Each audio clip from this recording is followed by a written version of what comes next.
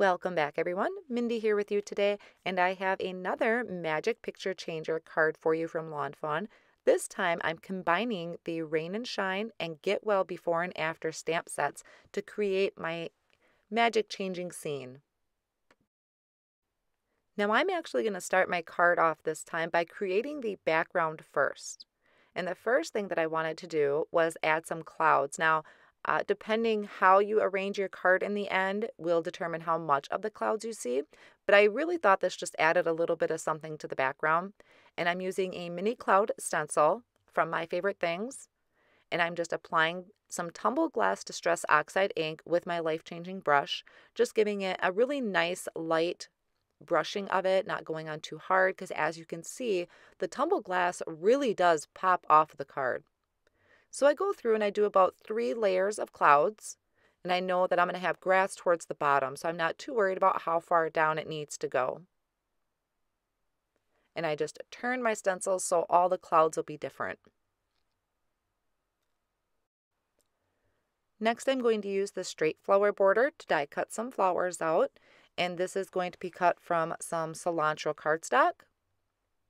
So what I'll do is I have my magnetic sheet here that I use for, for my Gemini Junior. I just lay that cut side up, place my cardstock on top, and I'll run that through my machine. And you can see I have plenty of room down at the bottom so I can determine how high I need that to go later on. Next, I'm going to take these trees. This is from the Park Shadow Box add-on. I'm die cutting that from some paper bag cardstock. So this is going to be going in my background as well. And then I also need to cut the tree tops. So I'll die cut those from some cilantro cardstock. I'm using the same sheet that I did for the flowers. I'm just going on the other side of the cardstock. So I have these two ready to go. And I'm just kind of going through and getting all of my die cutting out of the way right now since it is just kind of a lot of scene building.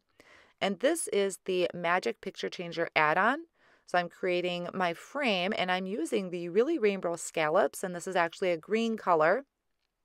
I'm holding this in place with some post-it tape because I want to make sure it is lined up straight. Since there is a pattern on there, I wanted to make sure that that pattern was die cut straight. What I didn't watch out for was the notch that typically goes where the slider is, and you'll see that in just a moment. So I did go ahead off screen and cut some of the flowers. There's the little flowers here. I did sunflower cardstock, mermaid, guava, and sugar plum. So I'm going to have those ready when I'm ready to glue. So I'm going to start off by getting my tree top tree tops glued down. I'm just using a tape runner to attach those to the top corner of the card. This card base is cut to three and three quarters by five inches. And those tree tops fit very nicely in the corners. And then using the liquid glue and some tweezers, I'm adding in the tree tree trunks. I apparently can't say these words very well. And I know that there's some room there down there at the bottom, so I will end up trimming this down to fit. But what I'm starting off with is gluing the backs of my flowers. I don't need a lot because a lot of it's going to get covered up, but I glued the yellow in the back and then I could have a colored flower on top so that the yellow is going to be the center and that's showing through. And then just going through and attaching these with the liquid glue. Like I said, I don't need a lot of them because I'm covering most of it up, but just in case I wanted to have that variety there of the colored flowers. You can see adding that sunflower to the back and then a few more tulips. So off screen, I did go ahead and kind of trim off some of that grass a little bit so it wasn't too high up. And then I can go ahead and attach this to the front of my card. And I just used a tape runner for the bottom and then some liquid glue for the flowers. And I will end up trimming off the edge there so it's all flush. Just give that a little snip. And then I attach this piece to some white cardstock and that white cardstock is going to measure four by five and a quarter. That just gives it a nice white border. And then the white cardstock does get attached to some mermaid cardstock. So there is a lot of layering here, but I think it really worked out well. And this could be a scene all on its own. Like I said, a lot of it's getting covered up with the uh, Magic Picture Changer, but I just thought it added a little bit more something to the background. I thought it was just, I like creating the scenes that go with the picture changers. So now I could start putting my frame together and I'm just adding little bits of adhesive to the corners. This is the frame I cut from some cilantro cardstock and I added that to the top of that really rainbow scallops piece that I had done. So now our background is off on the side. We could start working on the actual picture changer part. I like to line up my main picture changer piece in my MISTI and line up my images that way. Then I could see to make sure I'm actually getting in the frame and I don't have to worry about erasing any pencil lines. And I decided to do this cute little turtle that's upside down from the Get Well set. And I gave him some rain clouds. And now I'm doing similar to how I did that. I'm uh, lined up in my picture changer my healthy turtle. And off screen, I did create some masks. So I just attached my mask. And now I'm using this adorable little rainbow with the sun.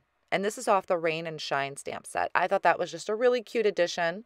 And it all fit really well inside that picture changer window. So I masked my turtle so that he is in front, he or she is in front of the rainbow. What I'm not noticing right now because my MISTI was turned is I actually stamped that kind of crooked. So you'll see here in a little bit what I mean. I did attach a mask to my rain clouds as well.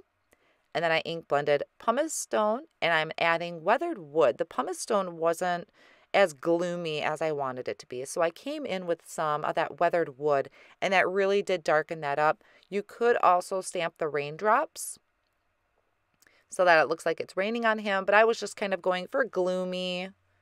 And then I'm adding shabby shutters. So kind of a dull green. I mean, it's it's a pretty green, but it went really well with my gloomy background. So into our healthy and happy picture, I'm ink blending Mowed Lawn. So that's a really nice bright green. And then I will ink blend some of the tumble glass around my rainbow. You could also very easily color in these backgrounds with Copic markers too. So once I have my backgrounds all ink blended, I'll go ahead and remove the masks from them. And that I like to put my masks on before I do any Copic coloring. So if I do, oops, I didn't waste all my time coloring. So now I have my images here that are set to color. And same thing for my gloomy picture. Just peeling back those masks. And then I get started on the Copic coloring. So since I did use the Lawn Fawn white cardstock and I had stamped these into the jet black ink, so it's Copic friendly, I'm starting with the turtle and I'm, or the unhappy turtle, and I used YG17 YG25, YG23, and YG21. And I know that sounds like a lot, but I really love this combination for my turtle. It has the YG17 is just a really nice green, a real nice kind of grass green to me. And then ending it with that YG21 is such a nice bright color, so it really gives some contrast to the turtle. And I did add a little bit of shading for the clouds, C4, C2, C1, and C0, just so they weren't so stark white against that gloomy background. My happy turtle in the next picture is going to be colored with the exact same colors that I used for my unhappy turtle. You can see I had forgotten to color my lines there, but I did come back in and remember. So see, look, I have a downhill turtle. That's what you get for stamping sideways. I'll make it work. I'm going for it. I already did my masking. I wasn't starting over. So like I said, I used the exact same colors that I had used in the first turtle. So I did it on this one. And for my rainbow, I didn't do any shading. I just added straight color to the rainbow. I kept that really simple. You could add some shading if you wanted to.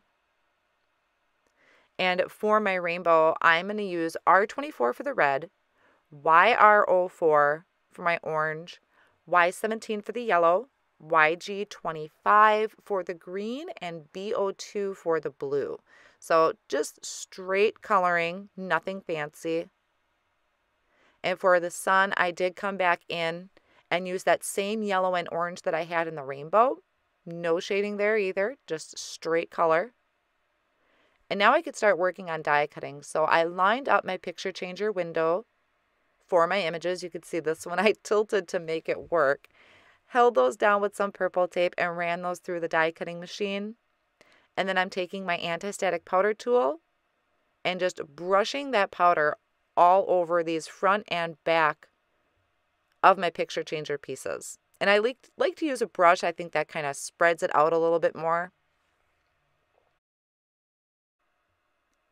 Then I come in and I'm just folding in those side folds. It's just a real skinny strip, so just kind of crease those, fold them over, and I like to go over them with the bone folder to make sure they're just a really nice crisp fold.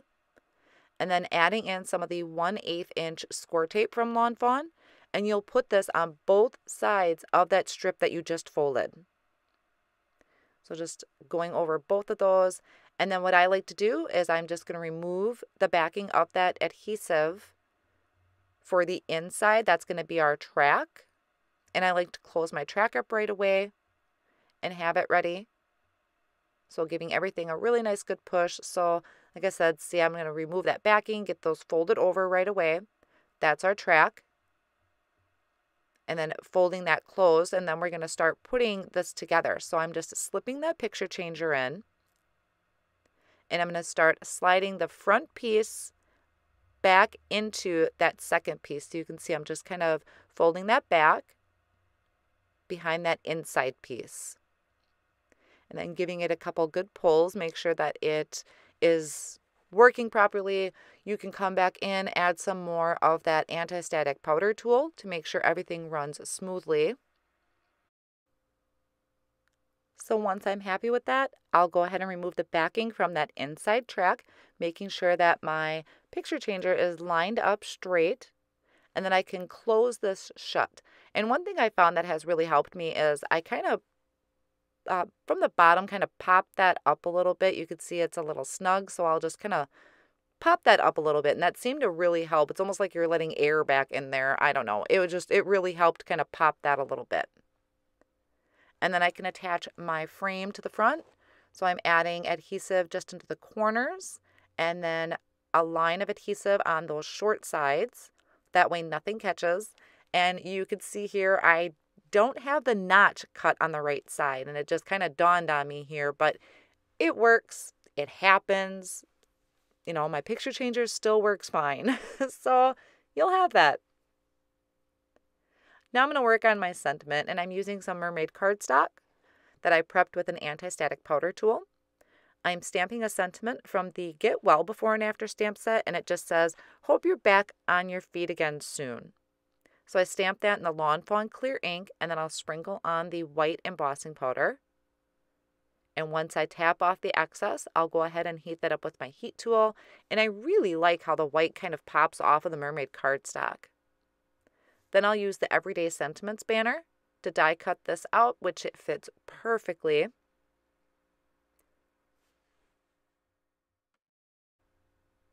I also die cut that pull tab from the Mermaid cardstock, and I'm adding this 1 8 of an inch score tape, which fit really well between some of these uh, areas. So I just used that to attach it. And I'll go ahead and add that to the top of my handle there. And I'm one of those people, I had to take that little itty bitty piece out of the P and add that to my tab. Yep, I'm that person. So I just used my tweezers and some liquid glue to add that for a complete look. That is totally optional. Now I did go ahead and added two layers of foam tape behind my magic picture changer.